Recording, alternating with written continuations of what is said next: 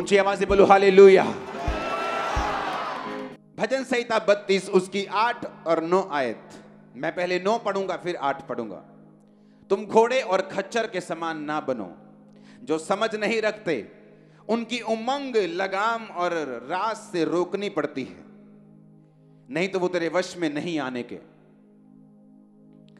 अपने पड़ोसी को बोलो, घोड़े और खच्चर के समान तुम मत बनो।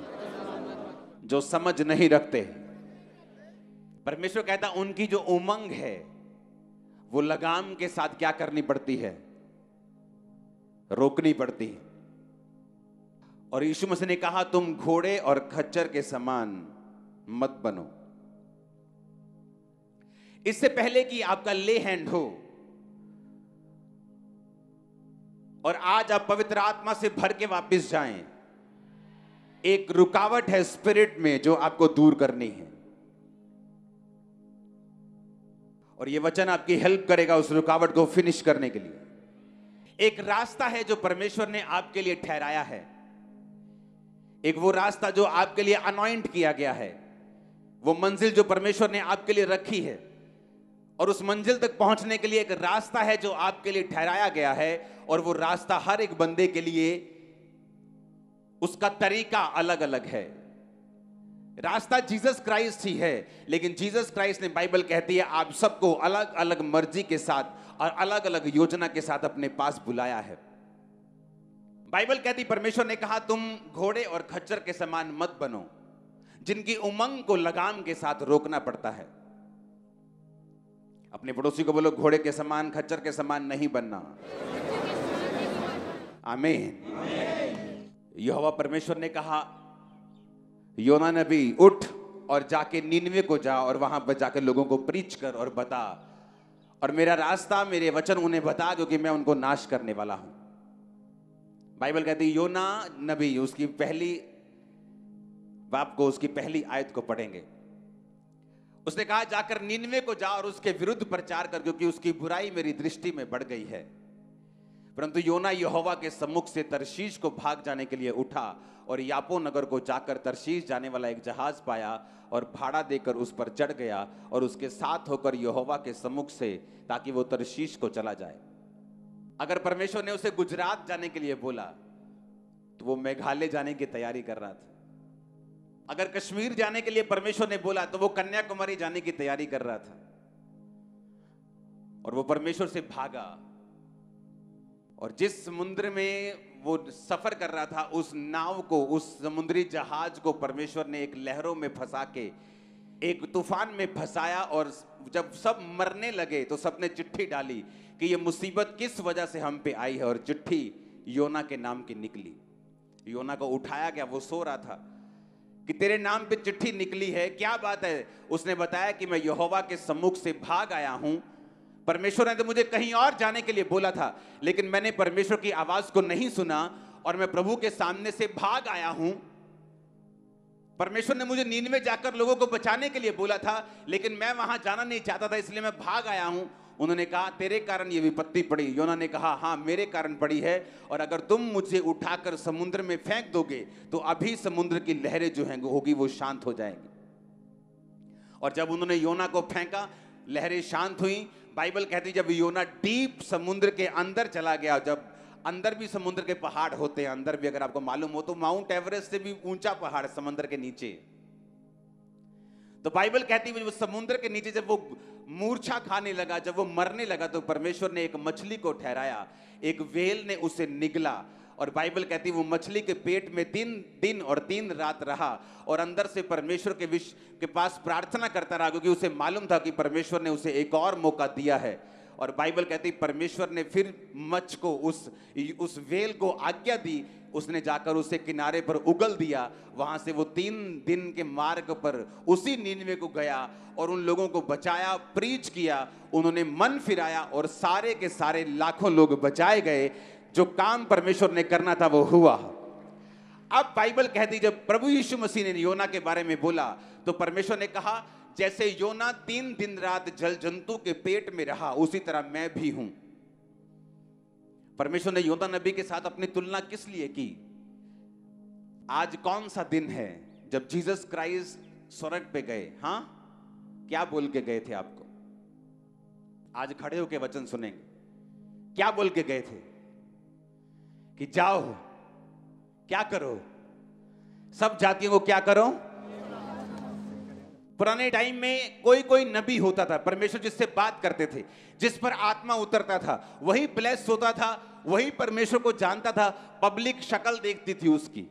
और अब खूबसूरती क्या है? परमेश्वर ने कहा, जब जीसस क्राइस्ट मर के जी उठे तो अब आपको याजकों के पास जाकर पाप माफ़ करवाने की ज़रूरत नहीं, क्योंकि आप खुद एक याजक हैं, खुद एक राजा हैं, और हमारा महायाजक प्रभु यीशु मसीह इस बात को समझे कि नहीं? अब जिस तरह परमेश्वर योना को देखते थे, और योना को देखकर बोलते थे कि, योना, मैं ये चाहता हूँ कि वो देश बचाया जाए, क्योंकि उनको किसी चीज़ की नॉलेज नहीं है। वो पाप में तो हैं लेकिन अगर तू जाएगा तो वो प्री, उन्हें प्रीच करेगा तो वो लोग बच जाएँगे योना। और योना थोड़ा ड्रामा करके गया लेकिन गया ज़रूर। मैं आपको इसलिए ये बात बता रहा हूँ क्योंकि जब परमेश्वर भविष्य दक्ताओं को कोई बात बोलता था तो परमेश्वर जब वो बात को नहीं सुनते थे तो लगाम के साथ जब घोड़ा मुड़ता नहीं इशारे में तो क्या करनी करनी लगाम खींचनी पड़ती उसकी।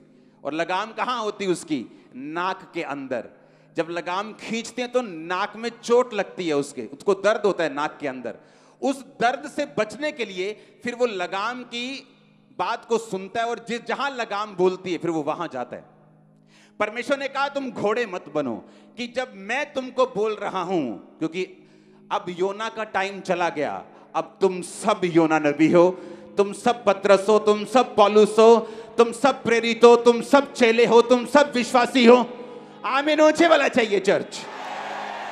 अब ध्यान से समझना है, क्यों तुम मुश्किल में हो?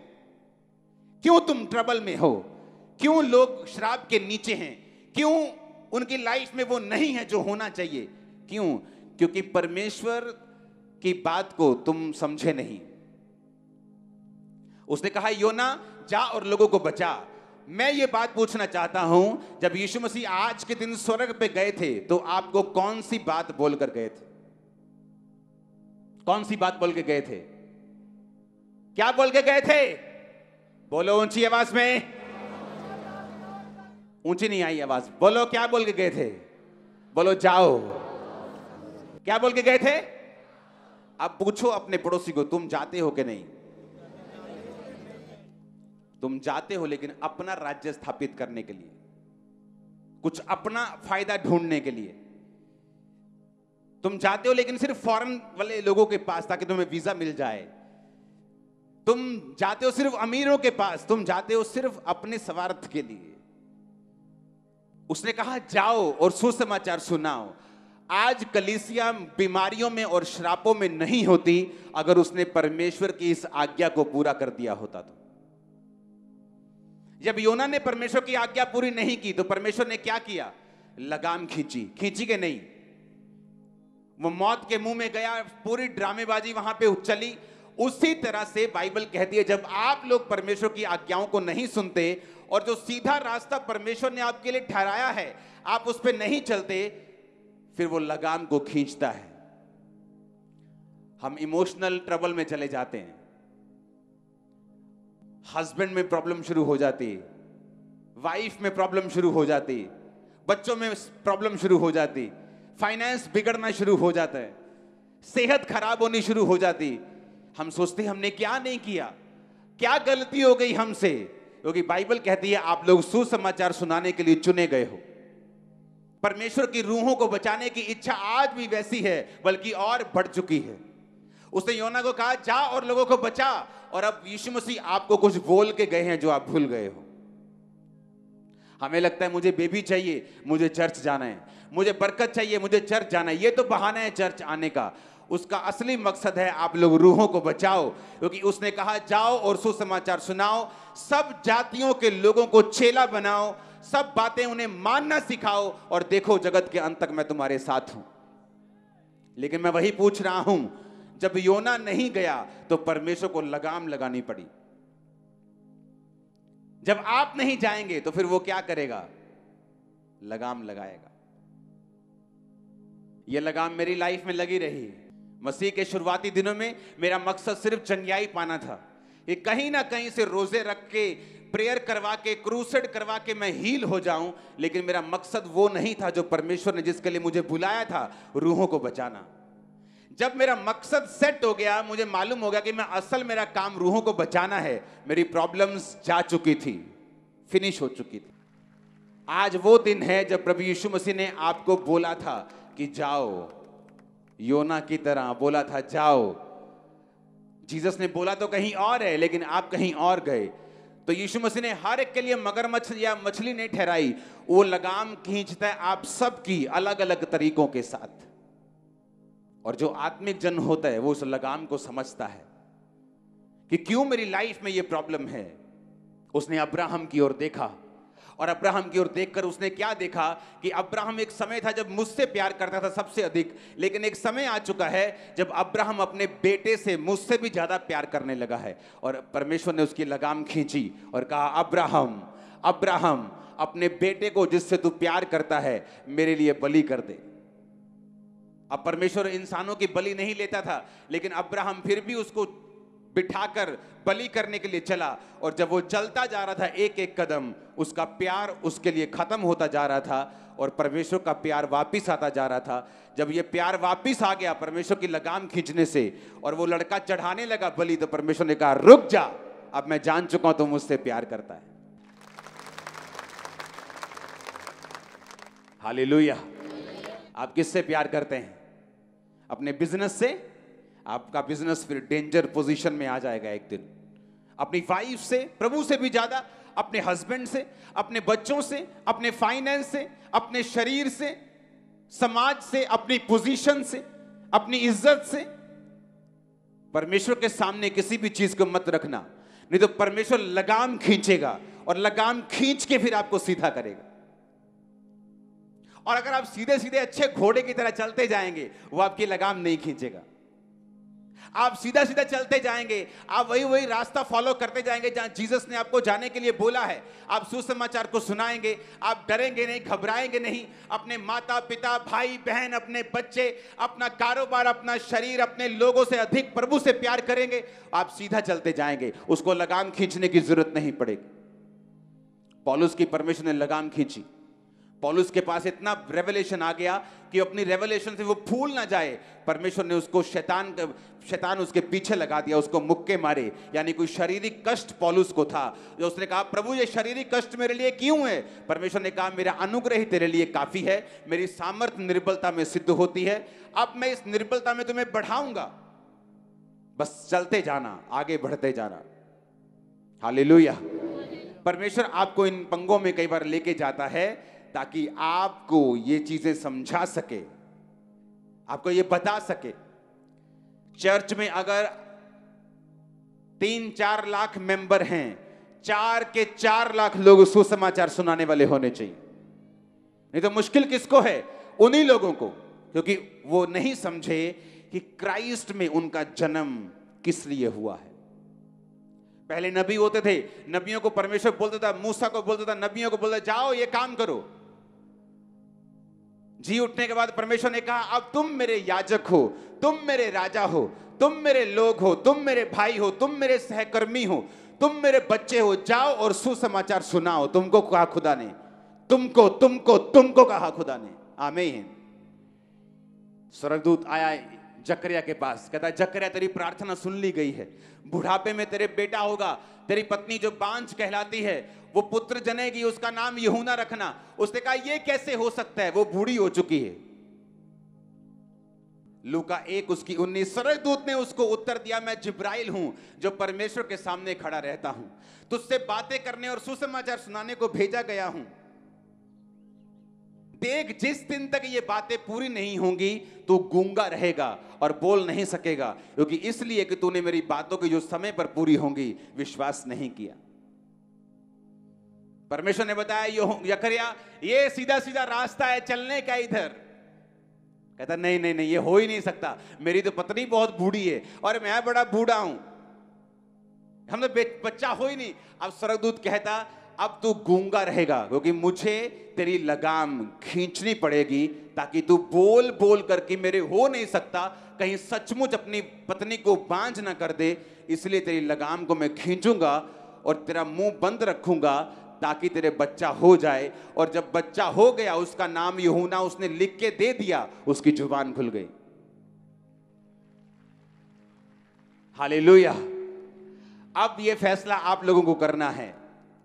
कि लगाम खिंचवा के परमेश्वर का काम करना है कि सीधे सीधे करना है। हालेलुया। क्योंकि परमेश्वर ने कहा, मैं तुम्हें बरकत देना चाहता हूँ। आप ही की प्रेयर है, मुझे बरकत मिले। आप ही की प्रार्थना है, मैं छुटकारा पाऊँ। आप ही की प्रेयर है, मैं आगे बढ़ूं। मेरा परिवार ब्लेस हो, मेरे बच्चे ब्लेस हो। तो परमेश्वर ने वायदा किया है, जब तू बोएगा, तू काटेगा। जब तू लोगों को बचाएगा, मैं तेरे परिवार को बचाऊँगा। जब तू सुसमाचार सुनाएगा, मैं तुम्हें उत्तम दाख दूँगा, उत्तम तेल दूँगा, उत्तम घराना दूँगा, सब कुछ तेरी लाइफ में उत्तम दूँगा, जो तू मांग रहा है, तुझे मेरी सेवा करनी होगी, तुम्हें याचक बनना होगा। हालेलुया जब एक व्यक्ति कहीं दूर जाने को होता है फ़्लाइट पकड़नी है ट्रेन पकड़नी है, और उसका बड़ा करीबी उसके पास आया और ट्रेन चल पड़ी तो उसको मालूम है कि अब ज़्यादा बातें करने का टाइम नहीं, वो बड़ी इंपॉर्टेंट इंपॉर्टेंट बातें उसको याद करवाते हैं। कि ये काम कर लेना, ये काम ज़रूर करना, ये काम बहुत ज़रूरी है। जब जीसस क्राइस्ट स्वर्ग पे चढ़ रहे थे तो वो लाखों बातें बता सकते थे, लेकिन उन्होंने इंपॉर्टेंट मोस्ट इंपॉर्टेंट बात आपको बोली, जाओ और सुसमाचार सुनाओ, सब जातियों के लोगों को चेला बनाओ, किसी का मुँह देखकर मत डरो, उन्हें बताओ जीसस क्राइस्ट धर्म और जात को बदलने नहीं आए, जीवन बदलने के लिए आए, लोग बदलेंगे, तुम ब्लेस हो गए यीशु के नाम में। हाले हाले अपने पड़ोसी को बोलो, तुम घोड़े और खच्चर के समान मत बनो। आमीन।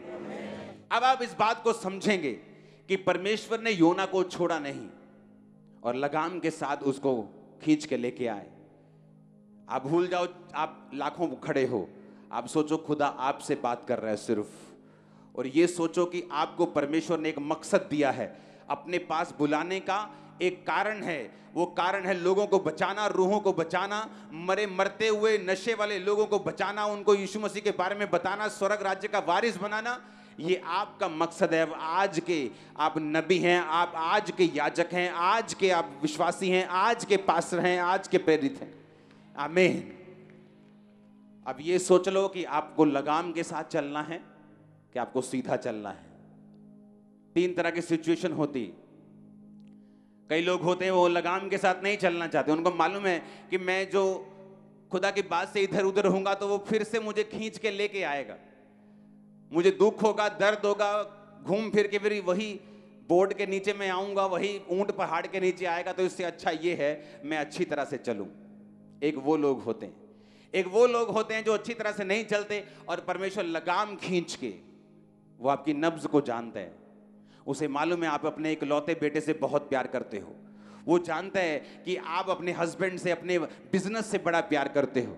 फिर वो उन चीज़ों को खींचने की कोशिश करता है, वो खींचता है आपको, ताकि आप लोग समझें कि मुझे पहला स्थान जो है वो परमेश्वर को ही देना है। कितने मेरी बात समझ रहे हैं? फिर तीसरे तरह के लोग वो होते हैं जो इन चिन्हों के कारण भी नहीं समझते और परमेश्वर से दूर होते जाते हैं। इन चिन्हों के द्वारा भी वो नहीं समझते कि परमेश्वर हमारी लाइफ से क्या चाहता है और फिर वो हेल के लिए, वो नरक के लिए तैयार होते हैं, जो उनके लिए और शैतान के दूतों के लिए तैयार किया गया है। क्योंकि परमेश्वर ज़बरदस्ती नहीं करता, वो एक लेवल तक आपको समझाने की कोशिश करता है। जब वो देख लेता है, वो उस लेवल से नहीं समझते, वो आपको छोड़ देता है। और सुना मेरी बात, जब आपकी लाइफ डेडिकेट हो जाएगी क्रिश्चियन कामों के लिए, सुसमाचार के लिए आपको मालूम है कि मेरी लाइफ समर्पित हो रही है, वो आपको चंगा भी कर देगा।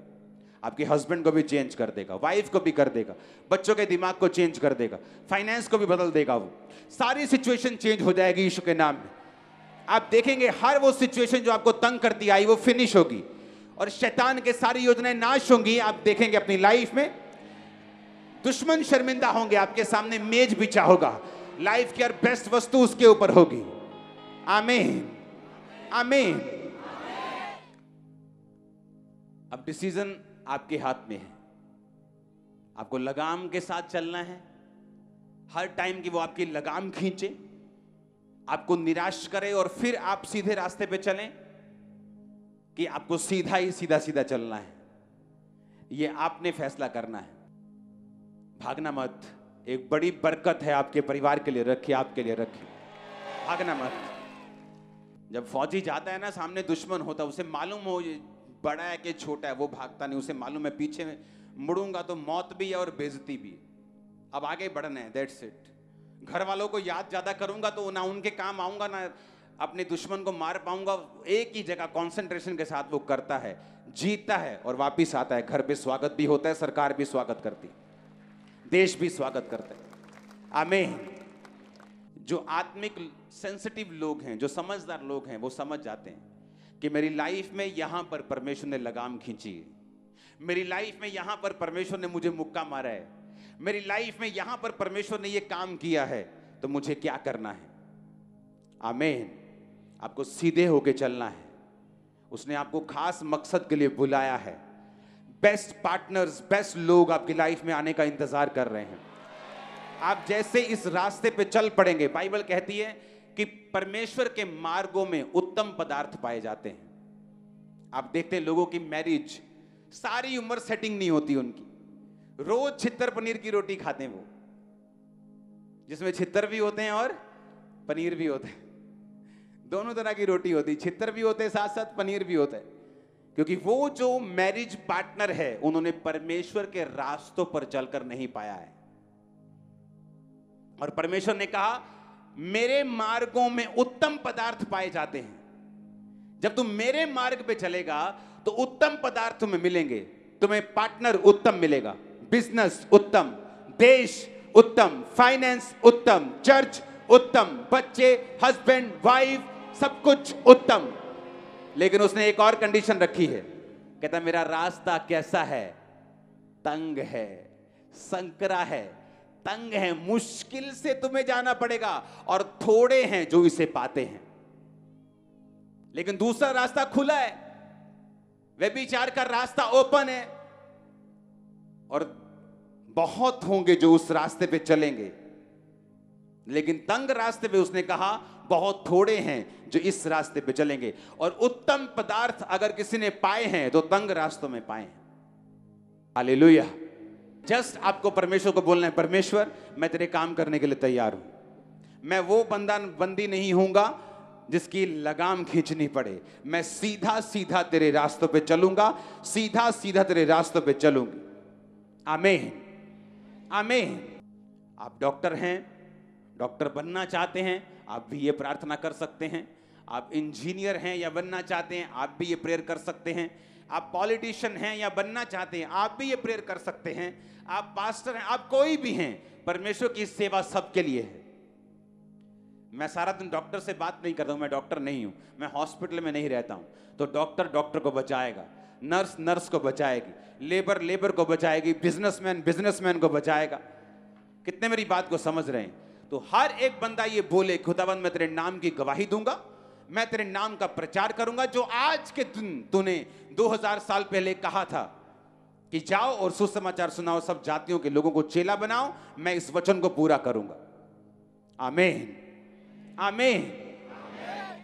और बाइबल कहती जब उन लोगों ने मन फिराया तो परमेश्वर आनंदित हुआ। वो नहीं चाहता कोई भी नाश हो। लोग बोलते, परमेश्वर कहाँ है? जब हॉस्पिटल में लोग मरते हैं। जब उनके इकलौते बच्चे मर जाते हैं, जब उनके हस्बैंड जवानी में वाइफ मर जाते हैं तो बोलते हैं कि, परमेश्वर कहाँ है? अरे, परमेश्वर ने उसे नहीं किया।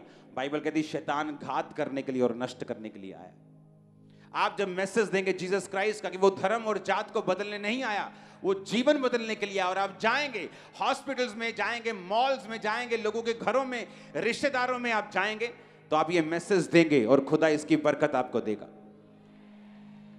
मत सोचो आपको खड़े खड़े बरकत मिलेगी। मैंने कलिसियाओं में लोगों को 40 40 साल जाते देखा है। ना तो उनकी बीमारियाँ गई हैं, ना तो उनकी मुश्किलें गई हैं, ना उनके परिवार बदले, जो कुछ है वही है। क्यों? क्योंकि वो सेवा में नहीं है। ना ही उनका पास्टर उनको चैलेंज करता है, ना ही उनकी चर्च उनको चैलेंज करती है सेवा के लिए, क्योंकि वो खुद चर्च होके सेवा में नहीं है। हालेलुया हम एक सीरियस बिज़नेस में हैं, जो खुदा ने हमें दिया है। वो पैसे कमाने का बिज़नेस है, रूहें कमाने का बिज़नेस उसने कहा, मैं तुम्हें रूहों को पकड़ने वाला बनाऊँगा, मनुष्यों को पकड़ने वाला बनाऊँगा। इस साल के अंत में आपका रिपोर्ट कार्ड जब मांगा जाएगा, जो हर क्रिसमस पे आपसे मांगा जाता है कि कितनी रूहें बचाई हैं पूरा साल। तब शर्मिंदा होकर आँखें नीचे करके, हाथ नीचे करके खड़े होने की ज़रूरत नहीं। आपसे काम करना शुरू करो। जून चढ़ने वाला है। सबसे गर्म महीना चढ़ने वाला है। आत्मा में सबसे गर्म हो जाओ। शैतान पर हथौड़े मारो। उसे लोगों से निकालो, आपके घरों से परमेश्वर निकाल देगा उसे। वो आपके घरों से क्यों नहीं गया? क्योंकि आपने लोगों से उसे कभी नहीं निकाला। आपने चैलेंज कभी लिया ही नहीं। आपने कभी चुनौती ली नहीं। आपने कभी परमेश्वर के वचन को सीरियसली लिया ही नहीं। इससे पता चलता है कि अगर हम ये वचन को भी सीरियस नहीं लेते तो हीलिंग के वचन को भी अपनी लाइफ में पूरा होते हुए कैसे मानेंगे? कैसे विश्वास करेंगे वो चंगा करता है? कैसे विश्वास करेंगे वो छुड़ाता है? कैसे विश्वास करेंगे वो धर्मी का वंश बचाया जाएगा, वो हमारे बच्चों को बचाएगा, अगर हम उसके एक वचन को पूरा नहीं करते तो? आप घरों में काम करते हैं, आपके, आप बॉस हैं, आप छोटे हैं, आप बड़े हैं, कोई मायने नहीं करता। जस्ट बोलो और उसने कहा, तुम्हें बोलना नहीं आता तो भी परवाह मत करना। मेरा आत्मा तुम्हें बताएगा क्या बोलना है। मेरा आत्मा तेरे साथ होगा। मैं आपको एक ऐसा रास्ता बता रहा हूँ, जो आपको जल्दी आशीष की ओर ले जाएगा। जल्दी आपको बरकत दे देगा। आमेन। आमेन। क्योंकि लोग इसे सीरियसली नहीं लेते। आप मुस्ती जाके लोगों की लाइफ देखो जो बहुत पुराने टाइम से परमेश्वर को मानते हैं कोई फ़र्क नहीं उनमें और अविश्वासियों में। उनके घरों में भी वही चिक चिक मिच मिच चल रही जो उनके घरों में चल रही। क्यों? वचन को सीरियसली लिया नहीं। उन्हें लगता कि यीशु मसीह तो हमारा ही है। हम तो पुराने ईसाई हैं, हम तो 20 साल से प्रभु में हैं। लेकिन क्या करेगा 20 साल से प्रभु में रहना अगर आपने एक भी रूह को बचाया नहीं? आप एक साल में दस रूहों को भी बचा नहीं पाते तो क्या फ़ायदा उस क्रिश्चियन होने का। जीसस ने कहा, जाओ और सुसमाचार सुनाओ, सब जातियों के लोगों को चेला बनाओ, सब बातें मानना सिखाओ और देखो जगत के अंत तक मैं तुम्हारे साथ हूँ। आप पूरा करेंगे इस वचन को? आप भूल जाओ, आप लाखों की तादाद में हो। आप सोचो कि यहोवा परमेश्वर योना से बात कर रहा है दोबारा। आप ये सोच लो आप भूल जाओ, मैं आप सबसे बात कर रहा हूँ। आप अपने आप को सोचो कि परमेश्वर आपको कह रहा है, जा और स्टार्ट कर मेरा काम. बहुत लोगों को लगता है कि काम स्टार्ट करने के लिए मुझे चर्च खोलनी पड़ेगी। अरे चर्च में कहाँ रूहें बचती लोगों के पास? चर्च तो उनके, बेचारे लोग नहीं आते उनके पास। चर्च में नहीं, बाहर जाओ, मोहल्लों में जाओ, नगरों में जाओ, चौकों में, बाजारों में जाओ, रेलवे स्टेशन पे जाओ वहाँ बचाओ रूहों को जहाँ ज़रूरत है। आमेन। हालेलुया। हालेलुया। कॉलेजेस के बाहर जाओ, स्कूल्स के बाहर जाओ, वहाँ जाओ, बताओ। आप देखेंगे लोगों को ज़रूरत है। नशों में मर रहे हैं लोग। बाप के साथ बनती नहीं, माँ के साथ बनती नहीं, गालियाँ निकालते सारा दिन। नशा बेचते हैं। क्यों? क्योंकि परमेश्वर से दूर है। कारण कौन है? कारण कलीसिया है। कारण वो लोग हैं जिन्होंने कलीसियाओं को बोझ नहीं दिया कि अगर आप काम नहीं करेंगे परमेश्वर का तो काम नहीं होगा। वो कर सकता है अकेला, लेकिन करेगा नहीं, उसको आपकी ज़रूरत है। आज जब आप इस बोझ को लेके जाएँगे यहाँ से, एक खुदावन के सामने एक वायदा कर लो कि, परमेश्वर, मैं अकेला चर्च नहीं आऊँगा, साथ लेके आऊँगा, गाड़ियों को लेके आऊँगा ये तो अपने साथ किसी को लेके आऊँगा, मैं अकेला नहीं बचूँगा, मैं लोगों को बचाऊँगा। फिर देखो, जो काम फंसा हुआ है वो कैसे निकलता है। जो स्ट्रेस में लाइफ बीत रही है, वो कैसे खुदाबंद उसे फ्री करता है। पवित्र आत्मा की अग्नि को रिसीव करने के लिए तैयार हो जाओ। वो आप पर आएगी, आपके बच्चों पे यूथ पे, छोटों और बड़ों सब पे आएगी। बुज़ुर्गों पे आएगी, छोटों पे आएगी, इन चीजस ने मामीनो चाहे बरकत आपकी है। टाइम आ चुका है अपनी डेस्टिनी को चेंज करने का हाई लेवल पे जाने का, और वो आपको लेके जाएगा। दुनिया के बेस्ट प्लेसेस आपके लिए रचे गए, बनाए गए बेस्ट जगह है बेस्ट चीज़ें आपके लिए बनाई गई। जैसे आप शुरू करेंगे, ये आपके कदमों में होंगे, आमीन, ऊँचे वाला चाहिए चर्च उठा अपने हाथों को थैंक यू जीसस